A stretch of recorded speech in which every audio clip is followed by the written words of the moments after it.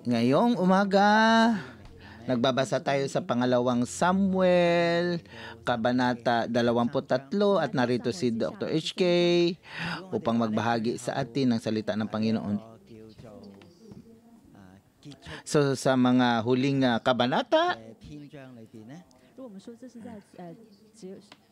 So kahapon nakita natin na uh, na na kuha ng tabing ng kortina at uh, ang aklat na ito ay dito na tatapos. So ang apat na huling mga kabanata ay ang kabanata ng ng konklusyon. So ito ay ibang-iba kung paano tayo magbigay ng conclusion sa mga uh, drama. Dahil sa drama alam mo kung sino ang ang ang doktor, ang director, ang mga gumanap. Ngunit sa sa mga huling kabanatang ito, sa mga salita dito na hindi natin alam. Kahit na ang uh, ang istorya ay naisulat mak, mat, maka, matapos ang limang daang taon, libong taon, at nalaman natin na ang istorya ay patungkol kay kay David, ngunit mm, matagal na ito, ngunit parang buhay na buhay pa at inihayag. At makikita natin ang ang ah, uh, pagkatao ni David dito. At uh, nakakatulong ito sa ating pagbabasa sa Biblia. Hindi natin alam kung sino ang ang sumulat ng aklat na ito.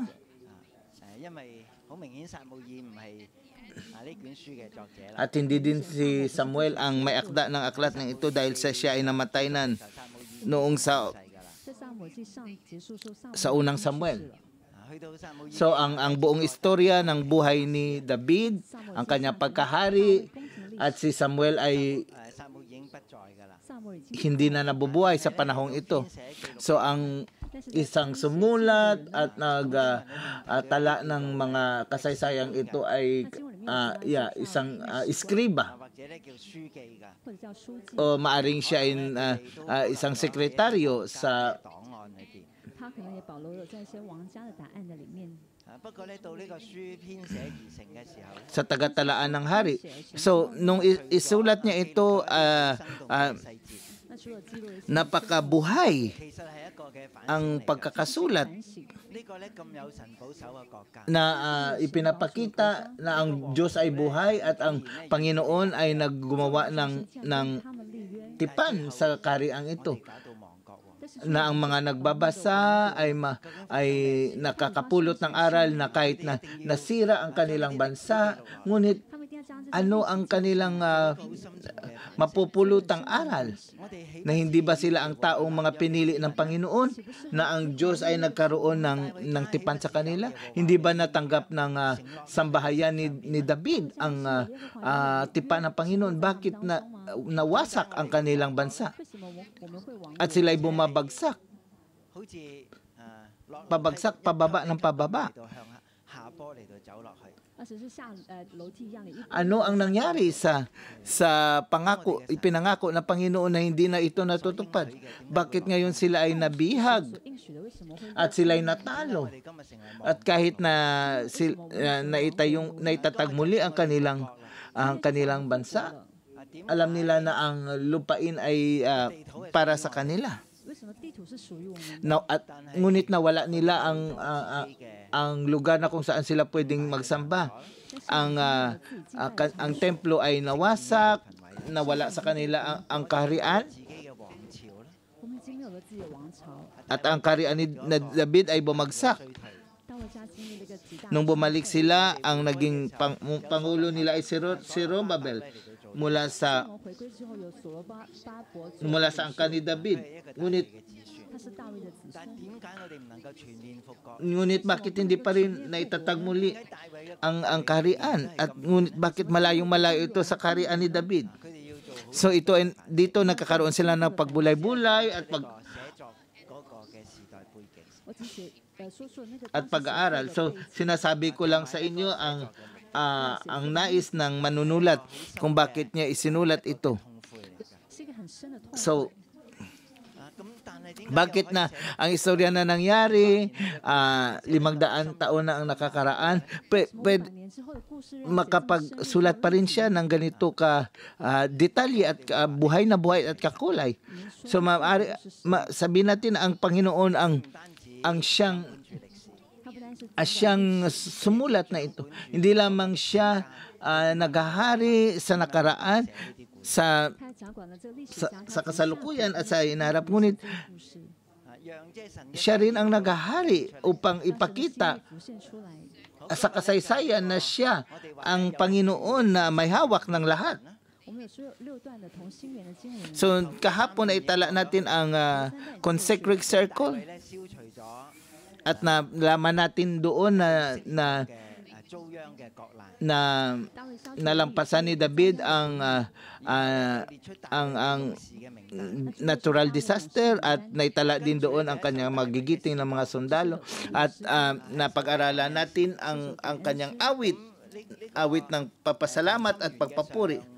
So, natapos natin itong konsek concentric circle, yung kung saan ang ang uh, umiikot ang istorya. At dito sa Kabanata 23 ng pangalawang Samuel, pagkatapos na naitala ang kanyang ang ang ang kanyang uh, uh, papapasalamat, ang kanyang awit, ang kanyang magigiting na mga tao. At dito sa sa sa kabanata 24 na ating pag-aaralan bukas nagkaroon din ng uh, isang uh, nat- natural disaster. Sa hari ngunit ito ay uh, kasalanan ni David. At dito sa dahil sa kanyang ginawa nagkaroon ng uh, uh, mga uh, 好大嘅罪，好耐嘅罪咧， n- nagkaroon ng epekto ang may mga bagay siyang ginawa pagkakamali na nagkaroon ng ah, ng epekto ito sa buong bansa sa isang ah, kamalian ng hari nagka, nag, nag, ah, nagdala ng ng 撒母耳记下已经读过㗎啦。那这一类的故事，我们读撒母耳记 ng 上 matinding epekto sa buong bansa佢抢夺别人嘅 Mak- nakita natin yan nung siya ay nagkasala nang kinuha niya ang asawa ng iba. 也谋害了别人的生命， Ngunit ah, dumating ang propeta at um, at sinabi sa kanya. Pag binasa natin ang uh, aklat ng ng Josue, mga hukom at uh, pangalawang at ang Samuel, ilagay natin ito sa aklat ng mga propeta. Ang aklat ay naisulat sa anggulo ng mga propeta, hindi lamang na ito ay aklat ng kasaysayan kung ano, anong nangyari upang uh, bigyan uh, ipakita ang uh, uh, ang hustisya ngunit ipakita kung ano ang uh, ninanais at kalooban ng Panginoon. Ngayon tayo ay nasa pangalawang Samuel uh, 23. At ang pamagat ay paano ginawa na matatag ng Panginoon ang uh, sambahayan ni David So ginawa na ng Panginoon na matatag ang sambayan ni David. Hindi lamang eh, sa isang uh, ban, is, hindi namang one-sided effort na ang Panginoon na ang gumawa. Dahil sa ang ah, ah, uh, uh, sambayan ni David ay nagka, nagkasala din. So paano uh, naging matatag? Paano ginawa? ng Panginoon na matatag ang sambayan ni David. So may dalawang bagay. Ang una ay ang uh, kanyang tipan sa sambahayan ni David. Ito ay magpakawalang hanggan at hindi pwede mga uh, mawala. So ang uh, ang ang sambahayan ni David, si David bilang hari, siya lamang ay uh, uh, re- representative ng Panginoon. At uh, katulad din ng uh, ng uh, ginawa ng Panginoon kay Abraham, itinatag niya upang sila ay magiging isang bansa. Ngunit ang tao ay hindi perpekto kahit na si David na ang kanyang puso ay laging nakasunod sa Panginoon, siya ay marami din pagkakamali. Ang mga awit ay uh, yeah, naipakita sa atin yun. Nung si David ay nag, uh, gumawa ng tipan sa Panginoon, ito ay tipan ng biyaya. So ang tipan ay uh, uh, kas- ay binubuo ng dalawang partido. Ang isang partido ay sa, ang Panginoon at isang partido ay si David. So paano si David nagkaroon ng tipan sa Panginoon? Siya ba ay uh, uh, dalisay? Siya ba ay uh, walang kasalanan? Siya, siya ba ay uh, uh, pure. So ang lahat ng kanyang kasambahayan ay uh, uh, dalisay. So, so, so katulad lang tayo ni David, may mapagkamali. So paano tayo magkakaroon ng tipan sa Panginoon? Paano tayo paano tayo makikipag-isa sa uh, communion? Sa uh, kadalinggo?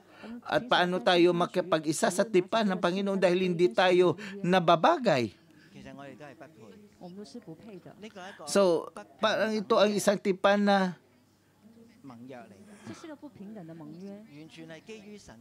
ito ay naka naka nakatali lang doon sa kat, uh, sa ka, gandahang loob at katapatan ng Panginoon, tayo lamang ay tumatanggap at dahil sa merong biyayang nagligtas sa atin at merong biyayang nagpapatawad sa atin at pagkawalang hanggang uh, pag-asa. At dahil dito meron tayong lakas na manatili sa tipan na ito kahit gaano tayo uh, uh, gaano tayo na, nahuhulog. At dahil sa biyayang ito, nasa kamay tayo ng Panginoon. Ganito din ang tipan ni David. Hindi dahil sa siya ay mabuti, sa magagandang awit na kanyang uh, sinulat, sa kanyang lakas, na siya ay uh, nararapat sa tipan ng Panginoon. Kung titingnan natin, hindi pa rin siya kahanay o karapat-dapat sa Panginoon. So sa um, lugar ni David siya lamang ay tagatanggap ng, ng mga biyaya ng Panginoon. At, at ang Panginoon ay nalulugod kay David. Na, naalala ninyo?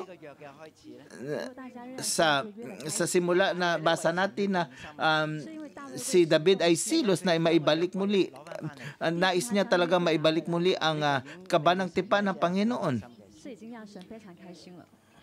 at uh, gumawa siya ng uh, sa kanyang pananampalataya na gawing uh, uh, sa buong bansa ay maniwala sa Panginoon.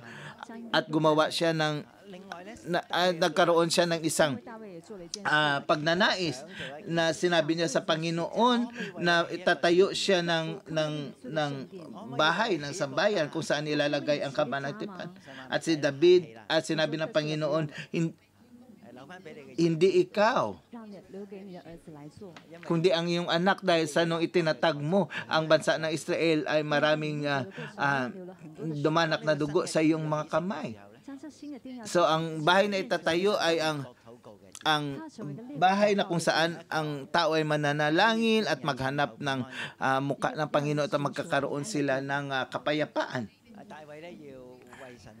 So si David ay nais niyang itayo ang uh, uh, uh, bahay sambahan, bahay para sa Panginoon.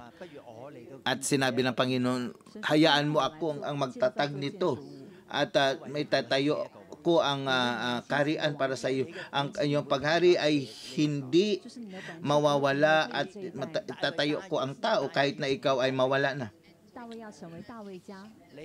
At ang uh, salinlahi mo ay uh, uh, itatayo ko at uh, para upang maging hari at kukunin ang trono. So gumawa ang ang Panginoon ng tipan kay David. At bakit gumawa ang Panginoon ng tipan kay David? Dahil si David ay nagnanais na itayo magtayo ng uh, ng uh, templo para sa Panginoon uh, sa lahat ng uh, sa pamamagitan ng ah, ng mga nasamsam nila sa kaawa. So, hindi si David ang nagpatayo ng templo, ngunit si Solomon na kanyang anak. Ngunit ang lahat ng sinamsam niya, ang lahat ng mga uh, mga pangangailangan para sa pagpapatayo ng templo, ang mga materyales ay kanyang inihanda bago bago pa siya uh, uh, matay. So, ito ay nakahanda na, uh, naghihintay na kung sino ang susunod na uh, magiging hari at handa na para itayo ang templo. So, sa, sa walang hanggang tipan na ito,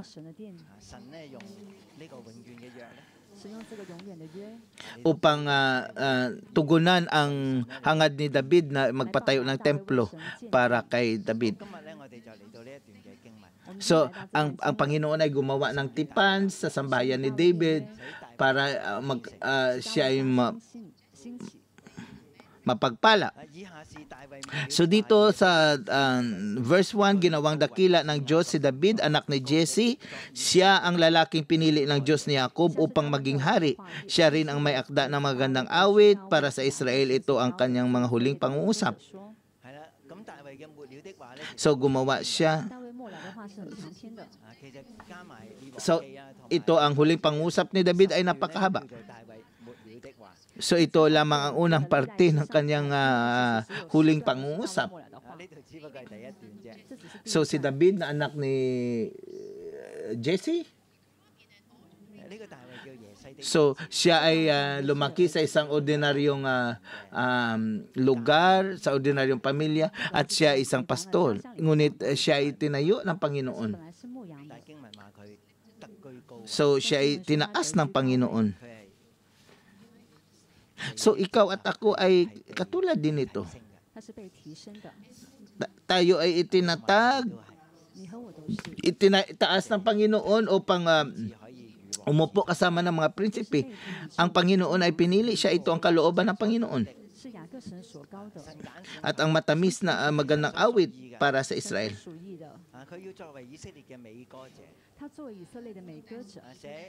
Ibig sabihin na ang awit ni David ay um, na-compile na.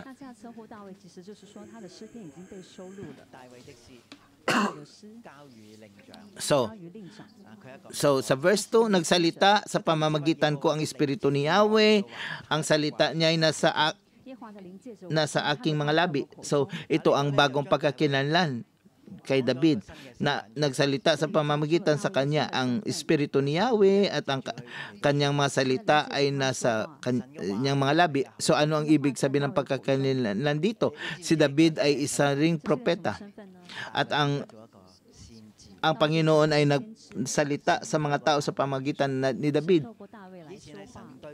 Sa nakaraan, ang Panginoon ay nag, uh, nangusap kay David.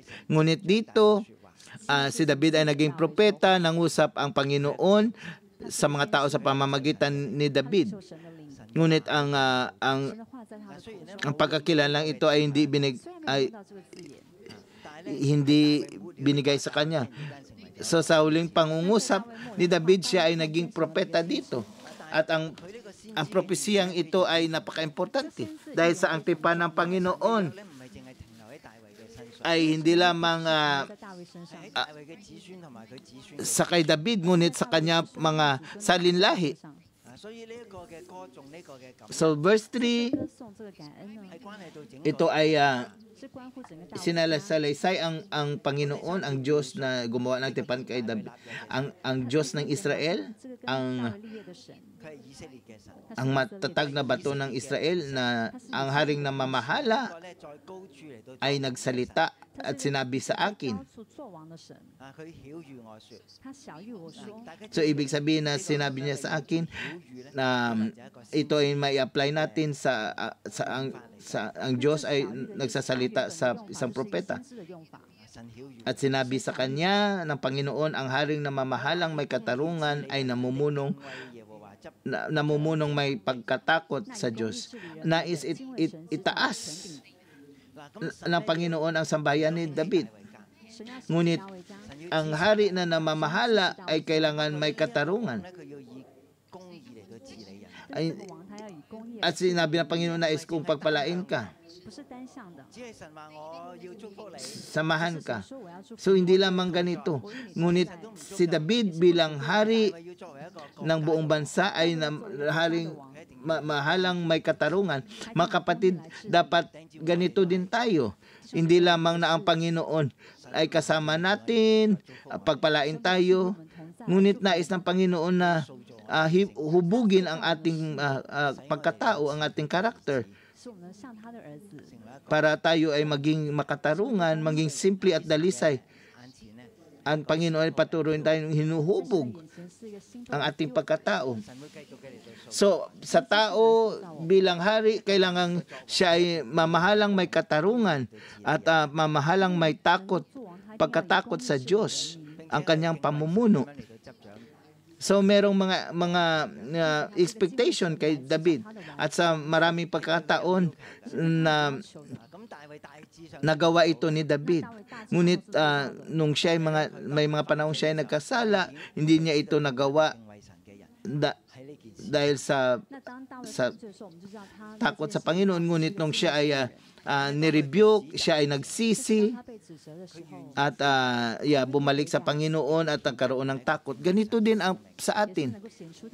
Kung may isang taong uh, nag-rebuke sa akin at ipakita ang aking pagkakamali, uh, willing akong magsisi at bumalik sa Panginoon.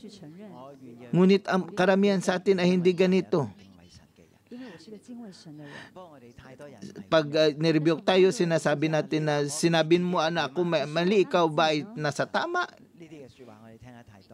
Sinasabi natin ito sa maraming um, beses.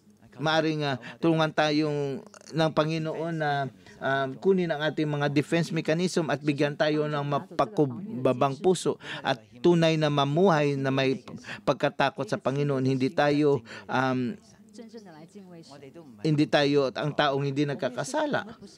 Ngunit kung tayo ay nagkakamali, hindi natin ginajustify ang ating mga uh, sarili dahil sa ang Panginoon ay ang ating totoong ilaw sa ating buhay at nililiwanagan niya ang lahat ng kadiliman ng ating buhay.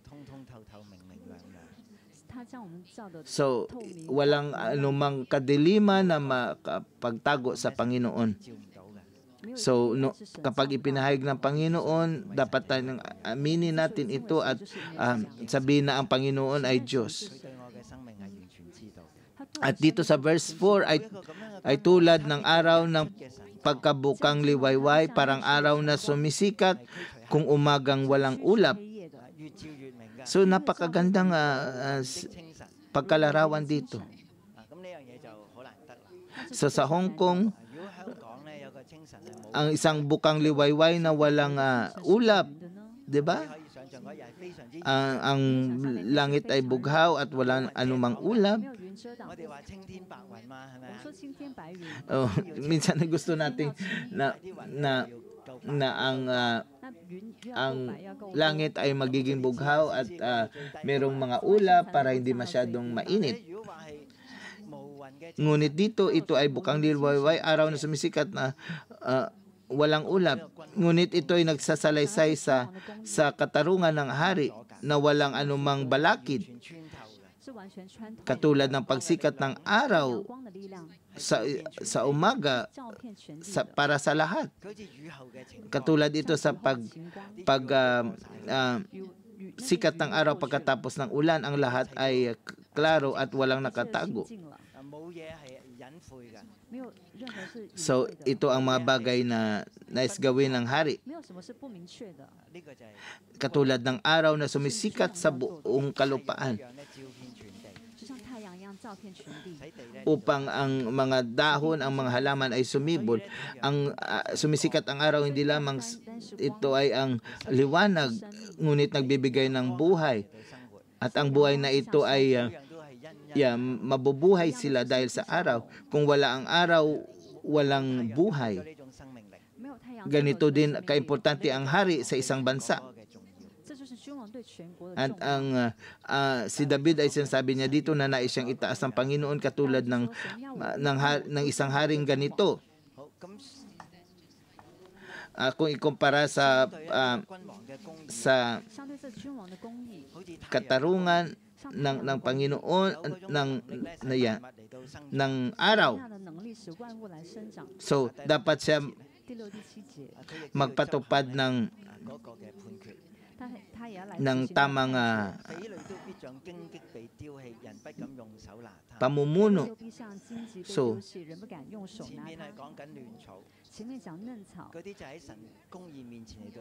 So dito, gayon pagpalain ng Diyos ang aking sambahayan dahil sa aming tipan sa walang katapusan. Kasundo ang mananatili magpakailanman. Siya ang magbibigay sa akin ng tagumpay. Ano pa ba ang dapat kong hangarin? Sa verse 6, ngunit ang mga walang takot sa Diyos ay matutulad ng matinik na itinatapon, walang mangahas na dumampot sa kanila. At upang siya ipunin, kailangang kasangkapang bakal kapag naipon naman sila itutupukin. So sa paghari ni David, kailangan niyang uh, pam, pamunuan ang, kahit ang mga taong walang takot sa Diyos, kahit ang mga masasama, ang mga mararahas. So, So si David ay isang uh, matagumpay na hari. At dito naparusahan niya ang, ang mga masasama at uh, binayayaan ang mga mabubuti. Uh, sa ganun pamamahala, ang buong bansa ay uh, lumago. At balikan natin ang, ang verse 5. So ito ang susi dito at ito ang ang ang buod. Gayon pa man, sabi niya, pagpalain ng Diyos ang aking sambahayan. So kahit na ang sambahayan ni David ay uh, hindi uh, um, hindi nababagay, hindi nararapat. May makainaan sila at sila ay uh, nagkakasala. So ito ang uh, totoong uh, um, pagsabi ni David sa, sa kanyang sarili. Si, sinabi niya dito, bakit ngunit binigay sa akin ang kasunduang ito ng Panginoon, ang tipang ito? So sa panahon na ang aklat na ito ay isinulat, ang, ang buong bansa ay nawasak, maaring sila ay pabalik sa lupain ng Israel. So ito ba ang uh, kasunduang magpakailanman ay patuloy pa rin? 这个永远的约仍然会成就哇！大卫家其实真系太肉酸啦。大卫家实在太难 So ang hari pagkatapos ng isa ay ah, lumayo sa Panginoon. 神啊 Ngunit ang ang sambahayan ni David ay merong kasunduang mananatili pagpakailanman nung si David ay 神永远的约 ay gumawa ng tipan sa Panginoon. Alam niya na pag ang kanyang mga salinlahi ay nagkakasala, sila ay didisiplinahin ng Panginoon. At ito ang panahon na ito ay panahon ng disiplina. Kung pupunta ka sa Israel ngayon at sasabihin mo sino ang mga salinlahi ni David, sino ang pinakahuling uh, henerasyon sa genealogy ni David, hin, hin, hindi walang sino man sa atin. So dahil itong tipan na ito ay walang katapusan, kasundo ang manatili magkakailanman. so, so ito ay so si Jesus ang uh, huling ah, uh, salinlahi ni David at uh, tutuparin niya ang uh, tipan na ito bago siya mapako sa cross sa huling hapunan binago niya ang ang tipa na ito at sinabi niya at kinuha niya ang uh, ang kupa at sinabi niya ito ang bagong uh, uh, tipan na sinasabi ko uh, na itinatayo ko sa inyo so nagiging uh, kaba ka, nagiging uh, kabahagi tayo ng, ng, ng tipan na iyon ni David na mapagkawalang hanggan sa pamamagitan ni Jesus at ito ay itinatag ng Panginoon ang lahat ng bagay. Kahit gaano kasama ang tao, gaano kahit gaano man bumagsak ang Israel, hindi ito natitinag. Ang itong uh, tipan na ito ay ay ah, uh, mawasak. Hindi dahil sa ang Panginoon, ngunit ang sambahayan ni David at ang Panginoon alam niya kung paano muli itatag at baguhin ang tipan na ito.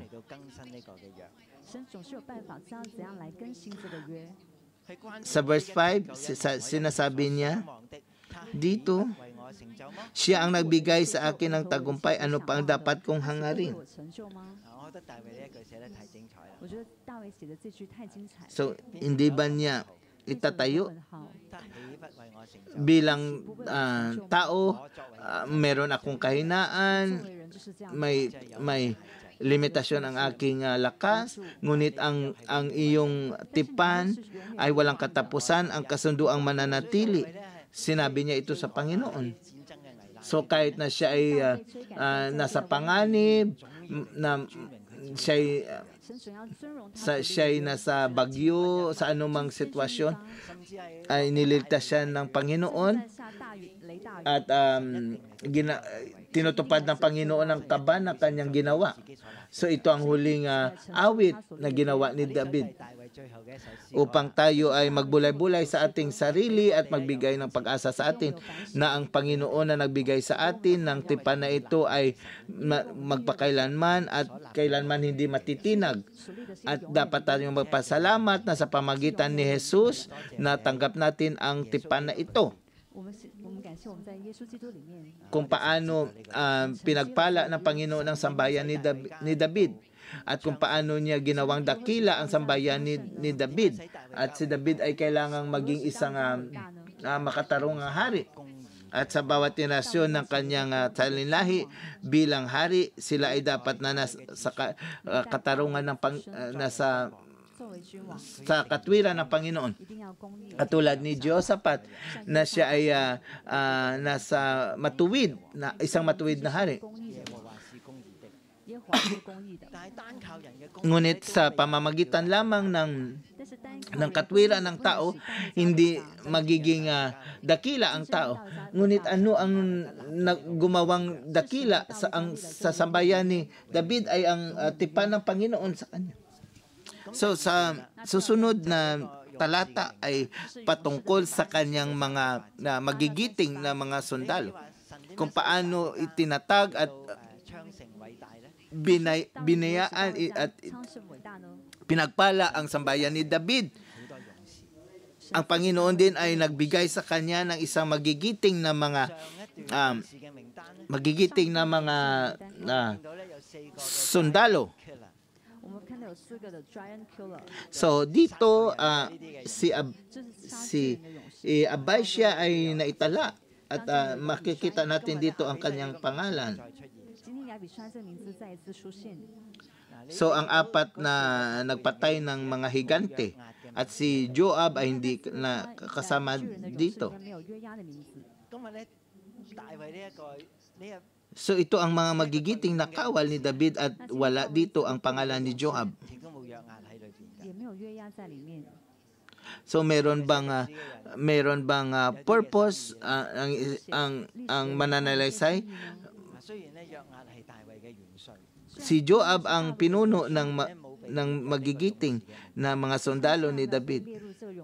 So ang historian alam niya at nakikita niya na si Joab ay isang uh, isang ah, uh, magig- magigiting na kao. So ngunit ito lamang ang job title para sa kanya. Siya ay uh, pinuno ng mga kawal ni David, yun na lang ang inaibigay sa kanya. Ngunit dito makikita natin ito ay mga magigiting na kawal ni, ni David. Sila ay uh, 37 uh, uh, lahat. So, 37 ay sa, nasa tatlong uh, grupo. Ang unang grupo ang tatlo, ang tatlong magigiting. Verse 8 to 12, ang tatlong magigiting nakawal at ang uh, uh, yeah, at ang iba pang tatlong maghigiting eh. ay ang uh, pinuno ng tatlong po na mga magigiting na kawal. So verse 13 to 17, ito naman ang naitala dito. Ah, 13 to 19.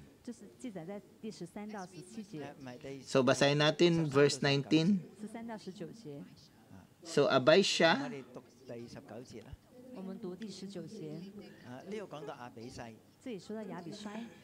Ito ang dahilan kaya ginawa siyang pinuno ng pangkat, ngunit kahit kinilala siya sa tatlongpo, hindi pa rin siya kasintanyag ng tatlong magigiting. So, ang, so si Abay siya ay ang pinuno 这就是后面的三个 ng, 勇士 ng second 以亚比细 tree. 为首 Mm. 嘅 以亚比衰为首，啊八至到十二节 So- 咧，前面嗰三 so- 个嘅勇士，八到十二节就是 At ang 前面 iba 三 pang 个勇士 tatlumpung magigiting na, ta, na kawal dito, verse 20 hanggang 39. 十个人哦， Mm. So, ito ay kung paano natin ah, i-bilangin 就 sa 是二十到三十九节。 verse first 3, second 3, at uh, 6 3. Yeah, that's 36.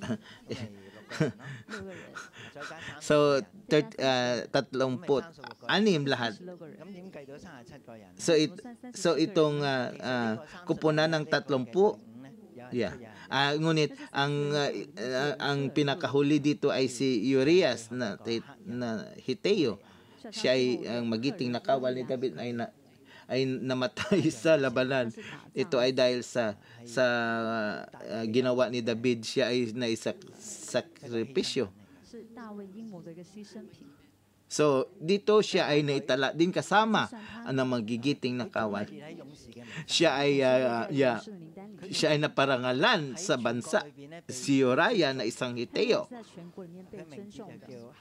So, ang unang tatlo, first three, Nakakalito sa Tagalog, mga kapatid.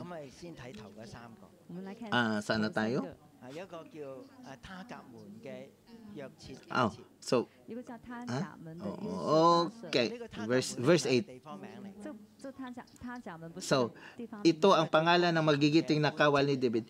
Siya ang unay, si Yosef Basivet na taga Tagkemon. 佢系一个总嘅统领嚟㗎。他是个总的统领。他甲 Siya 门嘅意思就系咁。他格门的意思就是这 Ah. 样， Ang tawag sa kanya ay Adtino. 伊斯尼 Mm. 人他自己是伊斯尼人，啊，佢叫阿甸奴。他是 Dahil 他是 siya 阿 ay 阿底挪 Nakapatay ng 好，咁佢一walong daan kalaban sa pamamagitan lamang ng kanyang sebat. Ang pangalawa ay si Eliezer na anak ni Dodo. So sa verse 9 na tayo, susundan natin para hindi tayo maligaw. So, ang mga Pilisteo nung uh, yeah, sa pas dan, damin nang sila'y lusubin ng mga Pilisteo natalo ang, ang mga Israelita at nagsi atras. Naalala natin nung si si Goliath ay ay nanghahamon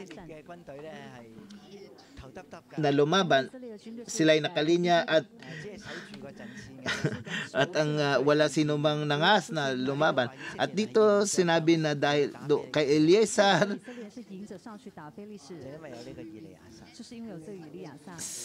inatake niya ang mga Pilisteo. Dito, liban kay Eliezer, hinarap niyang mag-isa ang, ang mga Pilisteo habang naninigas ang kanyang kamay sa paghawak ng espada. Ngunit nagtagumpay siya. Pinagtagumpay siya ni Yahweh sa araw na yun pagkatapos ng labanan saka pa lamang bumalik ang kanyang makasama. So sa verse 11, ang pangatlo ay si Shama. Yeah, ang lahat ng tao ay uh, tumakas. Ngunit ang isa lang ang ang ang naiwan So, si Lehi na is, sa lahi na may isang bukid na may tanim, dumating ang mga Pilisteyo at doon nagtipon, nagtakot ang mga tagalawan sila yun, tumakas ngunit dumating si Siyama tumayo sa gitna ng bukid upang ipagtanggol ito. Na patay niya ang mga Pilisteyo sa tulong ni Yahweh. So, ito ay ang Panginoon ang uh, nagtanggol sa kanila, ang nagpanalo sa kanila. Ito ay regalo ng Panginoon kay David. So is may isang konsepto dito na ang Panginoon ay kasama mo ay ay pinoprotektahan ka ng Panginoon. Hindi lamang uh, uh, hindi lamang tutigil dito. Ngunit bilang uh, si, si David ay kailangan maging uh, makatwirang hari. At uh, ang kanyang mga sundalo ay kailangang magiging uh, matapang, magaling. At sila kahit na nandun ang proteksyon ng Panginoon, dapat sila ay uh, malakas, matapang. Katulad na ang hari ay uh, ganon din, nagiging matuwid sa mata ng Panginoon. So, dito ang uh, first three. First three nandiyan. So, dito sa verse 13, ang magigiting tatlo sa magigiting na tatlumpo. Nung nagpunta si David sa yungib ng Abdullah, verse 13 tayo mga kapatid. So, nung sila ay nasa nung sila ay hinahabol, tinutugis, uh, so mula sa isang uh, uh, uh, nagka, tumatakbo uh, mula sa uh, fugitive, si David ay naging isang leader. Dahil sa ang mga uh, Filisteo ay uh, pinapahirapan ang mga Filisteo sa libis ng Refraim. So si David ay yeah. So dito, ng panahong iyon, si David ay nakakubli sa isang kuta, samantalang nakakampos sa Bethlehem ang mga kawal na Pilisteo.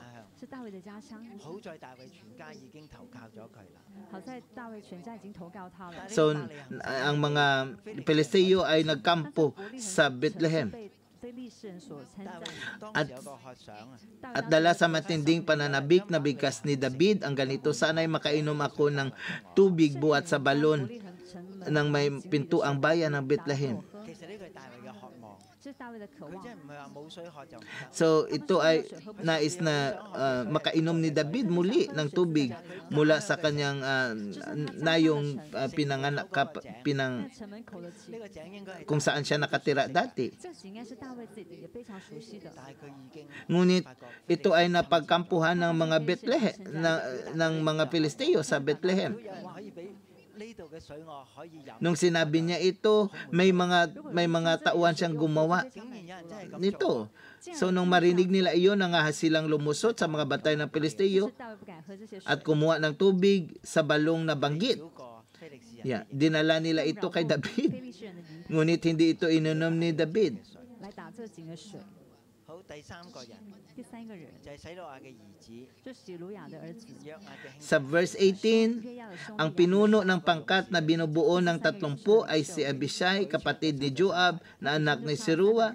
Kinilala siya呢三个勇士里边最尊贵。 siya ng mga ito sapagkat minsay pinuksa niya sa pamamagitan lamang ng sibat ang tatlong daang kaaway. So si Abisha, so naitala sa dito sa tatlong uh, magigiting, pinuno ng pangkat na binubuo ng tatlong po. So, ngunit siya ay napaka ah, madaling, mainitin ang ulo, impulsive.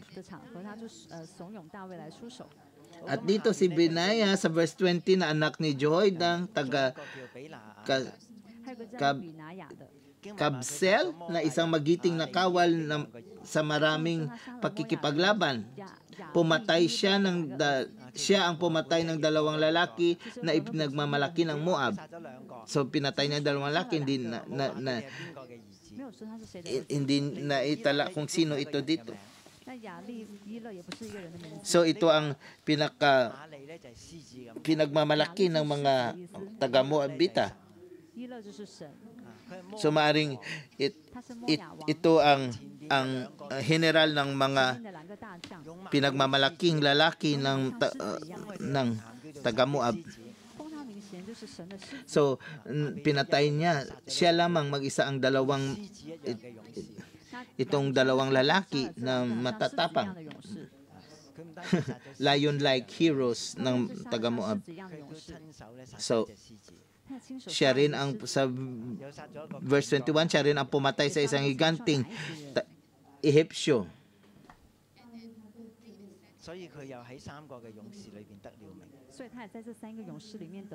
Ah, ah kaya iyan ang kasaysayan ng bantog na si Benaya sa labis na hiningina, hinangaan at kaanib ng tatlongpo. So ginawa siya ni David na sariling bantay sa kanyang palasyo. So, napakarami mga pangalan. Naalala ko nung pumunta ako sa isang universidad sa Estados Unidos, merong Hall of Fame doon na nakasulat ang mga pangalan nila ng mga tanyag na tao. Para sa akin, ito ay mga mga simpleng pangalan lamang. Pero sa mga Israelita, ito ay ang kanilang uh, mga mga mga magigiting na tao na may mga istorya ng kanilang uh, kagitingan. Katulad din sa atin, ikaw at ako, ang ating uh, pangalan ay nasulat sa aklat ng buhay. Maaring hindi tayo kilala ng maraming tao, ngunit dapat tayong magbunyi dahil ang ating mga pangalan ay naisulat sa aklat ng, ng buhay. Ito ang sinabi ni Jesus sa kanyang madisipulo magpun magsaya kayo dahil hindi ang mga demonyo ay um, nagsubmit sa inyo ngunit ang inyong bu- ang inyong pangalan ay nakalista sa aklat ng buhay ng Panginoon. So mag verse 34 atensyon sa isang tao dito. So si Eliphelet anak ni Ash, Ahash, ba? Ahasbay, Ahasbay, taga Maaka si Eliam na anak ni Ahitofel na taga Hilo. So, siya ay si... So, si... Oh, yeah, si Ele, Eliphelet. Na si Eliam na anak ni Ahitofel. Um. Mm. Oh, si Eliam ay anak ni Bathsheba. At uh, dito naitala Uriah. So si Batsiba ay isa sa isa sa tanyag na pamilya at ang at ang istorya ay na naihayag ko ano klasing tao si David.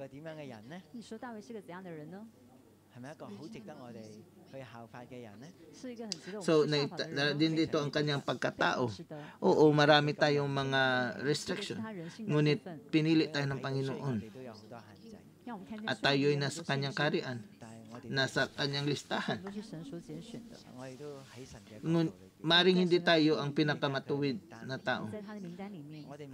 Ngunit ang Panginoon ay nagagalak sa atin at bigyan tayo ng biyaya at gumawa siya ng tipan sa atin dahil sa kanyang biyaya. Tayo ay sambahin ang Panginoon at dito tayo nagtatapos sa ating um, uh, morning devotion sa umagang ito. Maraming salamat sa ating pakikinig.